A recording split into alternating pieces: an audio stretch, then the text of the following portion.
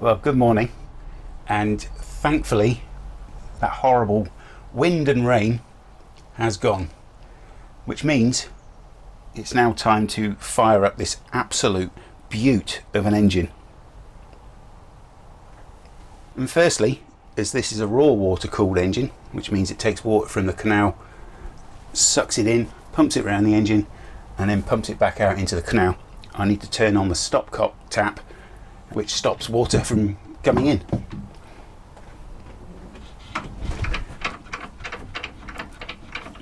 And followed by the exhaust.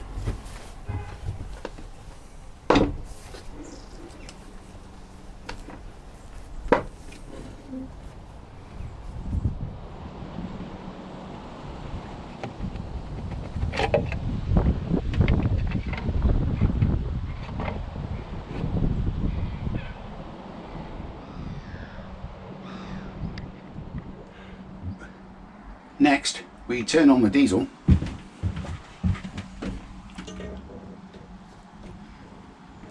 And check that there is enough fuel in the day tank.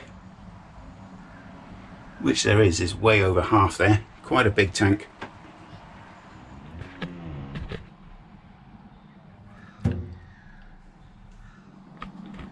Next up, we remove the air filter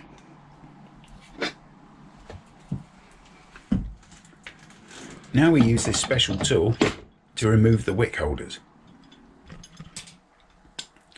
Most diesel engines use glow plugs to preheat the diesel and air mixture. Aslan actually has a hot wire in the intake manifold to do the same job. The engine in Gorse, however, uses a completely different method. Cotton wicks. These are made from a compressed cotton which is then coated at one end with saltpeter. An igniter is then inserted in the end of each holder and I'm going to place them to one side while I get on with the rest of the starting procedure. This engine doesn't have a traditional oil filter, it has a oil separator which before you start it you give it a twist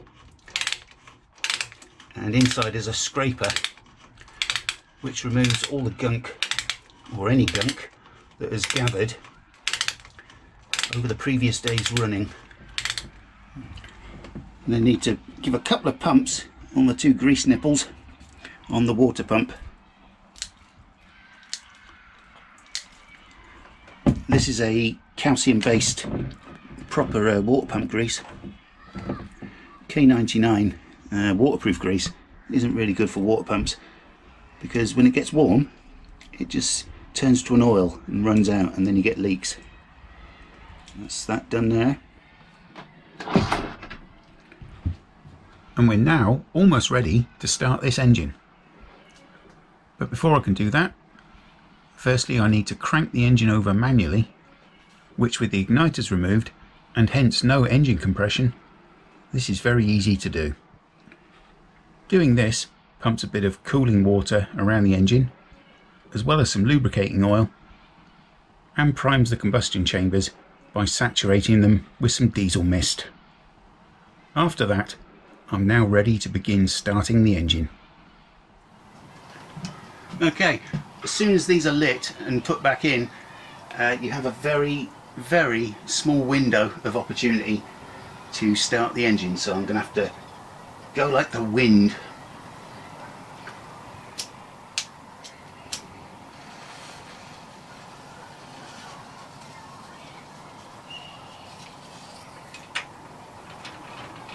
quickly put that one in. And this one.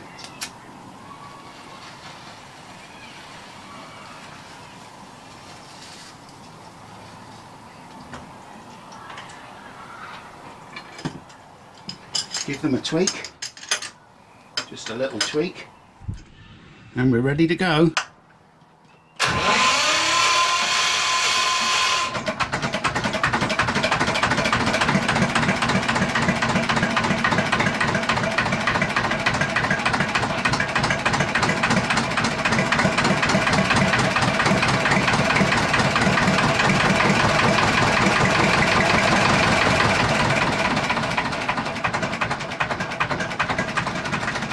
filter back on.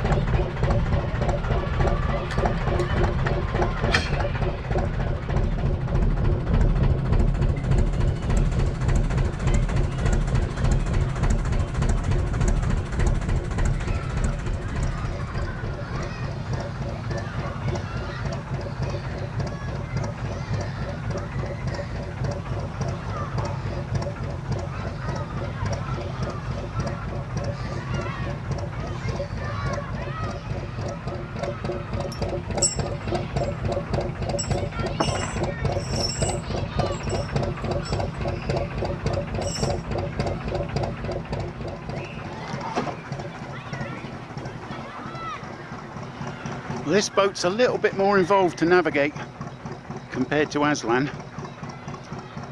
Uh, the controls are pretty similar. She has a speed wheel for the accelerator, um, but the gears, instead of just the nice Morso, is this authentic gear control, I suppose you could call it. It's a two-speed forward and reverse, so I'm in forward first at the moment.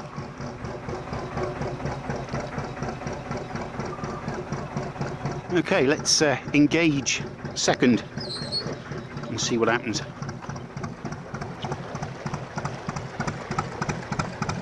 Oh wow. Oh, listen to that. That is the sound of the canals.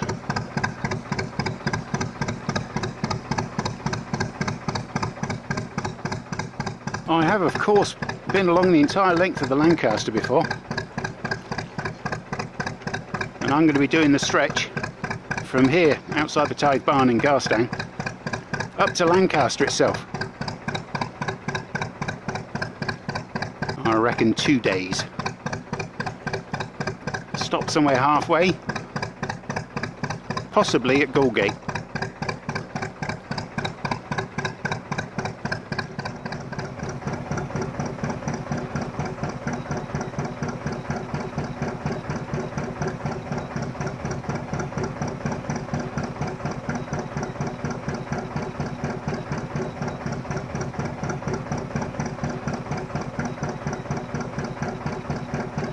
Oh, I forgot to take the cover off the little uh, auxiliary oil pressure gauge that's there.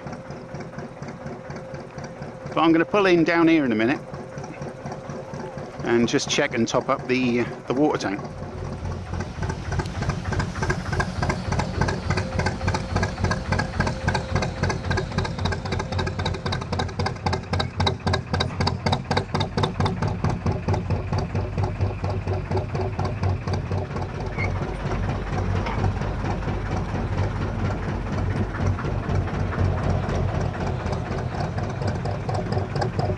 Nice and steady.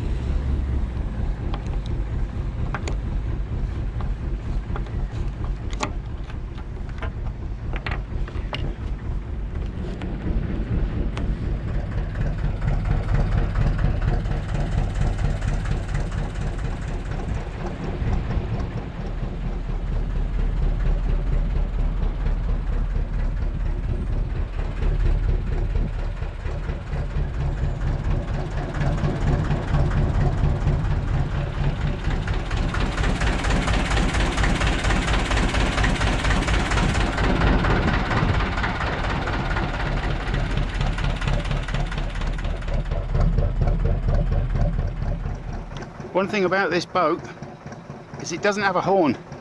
It has a whistle.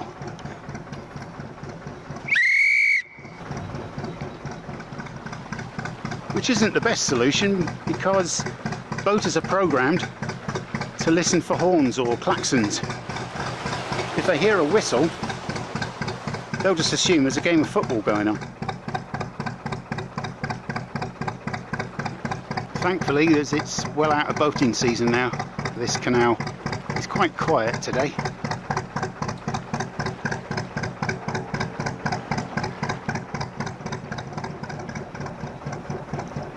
Yeah, you have to keep switching between first and second. First is way too slow, and second is way too quick. And I don't want to go lowering the revs too much because when you put it in second, the engine sort of slows right down. I don't want it cutting out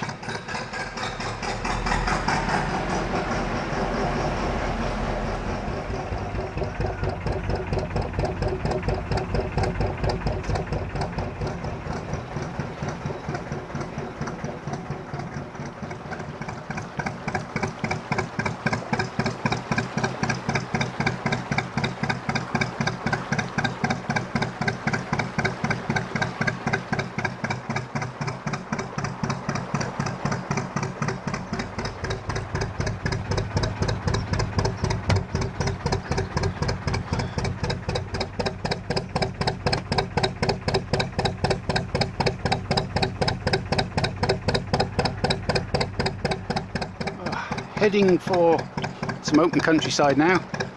I can relax a little bit then. Maybe this is the way to do it. Second gear, but much lower revs. A slightly more respectable speed when passing other boats.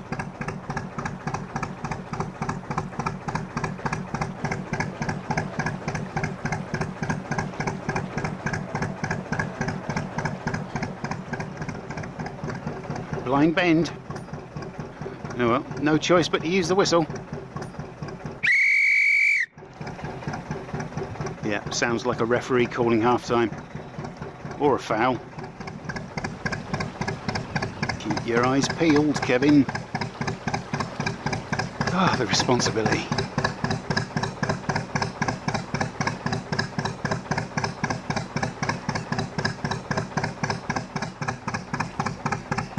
My old stomping ground, Garstang Marina.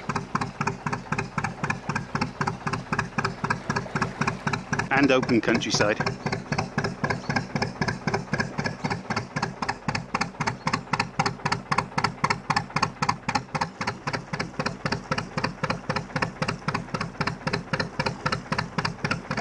What a beautiful boat.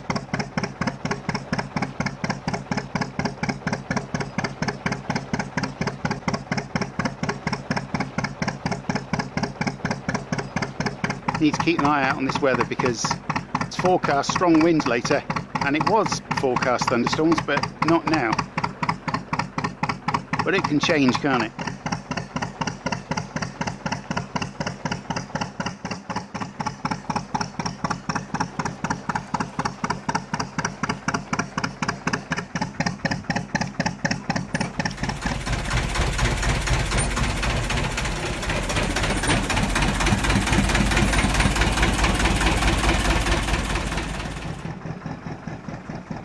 Coming up here is a corner that I've not been looking forward to and it's probably the only corner because it's very blind but also very narrow under the water so you have to go in the middle otherwise you ground. And I don't have a horn. Wow! You need some arms. Turning this boat.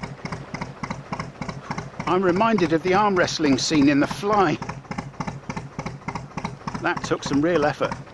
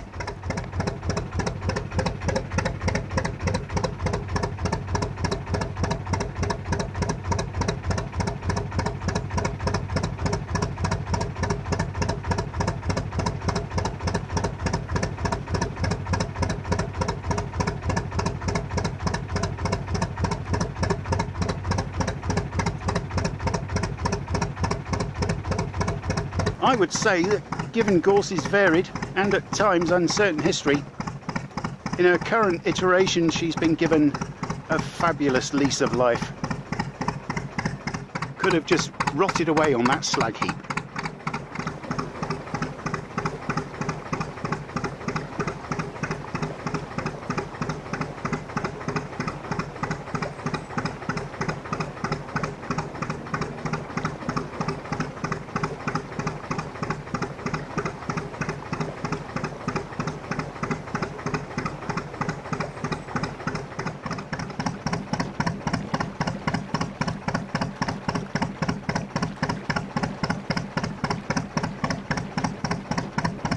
I might not go all the way to Galgate because there's my favourite mooring, probably about two miles up the canal.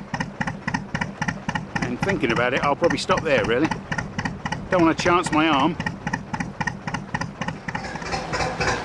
Just pulled over and got the cover off that oil pressure gauge. I would like something like that on Aslan. It's just that extra peace of mind you can see what your oil pressure's doing a nice healthy 30 psi Gorse in this current form was a labour of love of one man. His name was Fred. Sadly he passed away a couple of years ago. And Gorse was sold to the present owner. I think Fred would have been delighted to have seen Gorse chugging along viewers enjoying her and being used for what she was built for. Excellent job, Fred, wherever you are.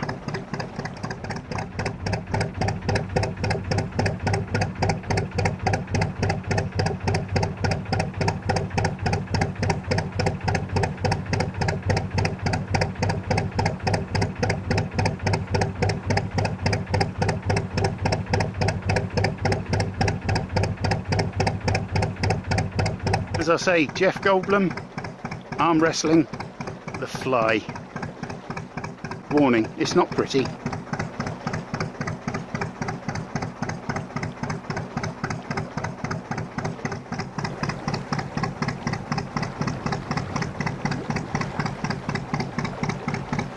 I remember this place well.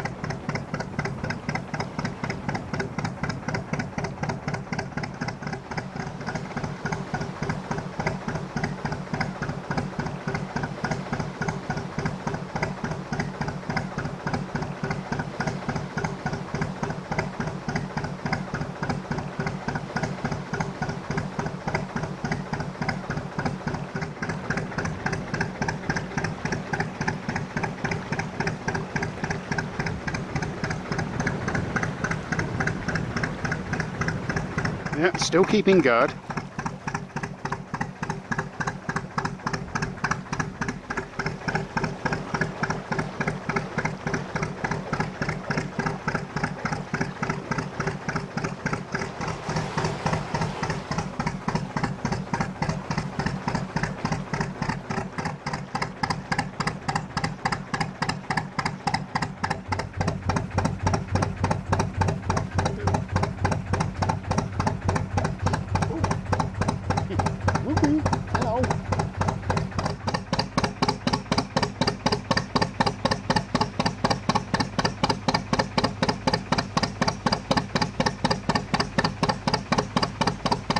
I've been uh, very lucky with the weather.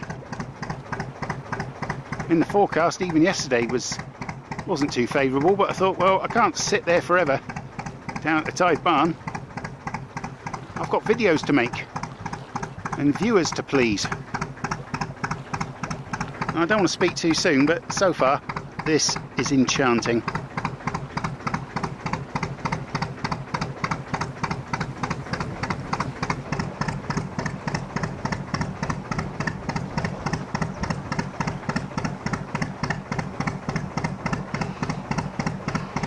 Something I've often wondered with Aslan is if the engine had to be taken out, how would you do it?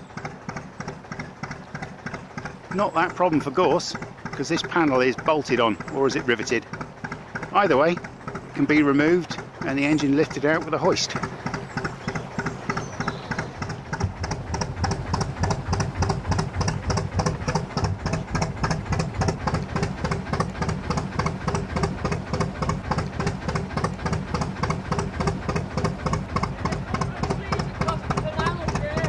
All right. I mean, quite a way up, like. All right, okay.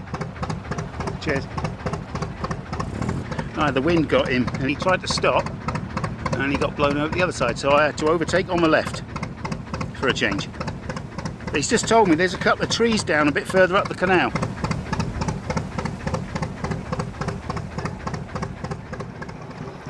Coming in for a landing.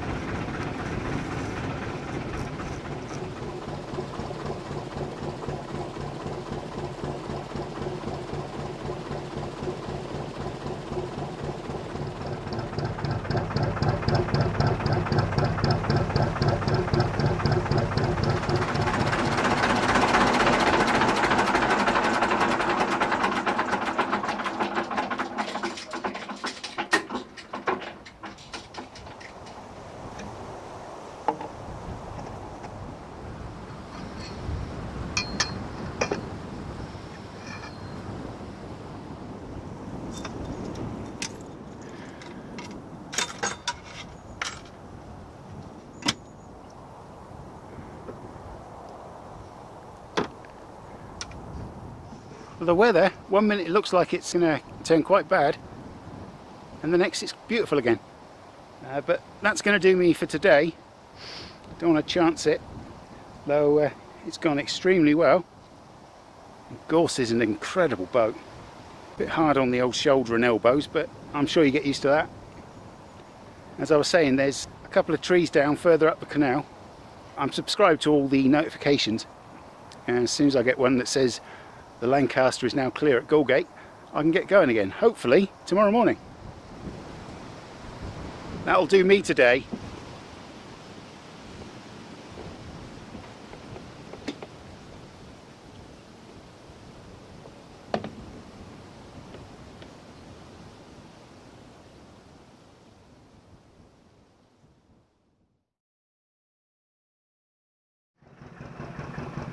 Well, it's mission over. I'm afraid to say. The health freaks among you, switch off for five minutes. I'm moored illegally. Eh?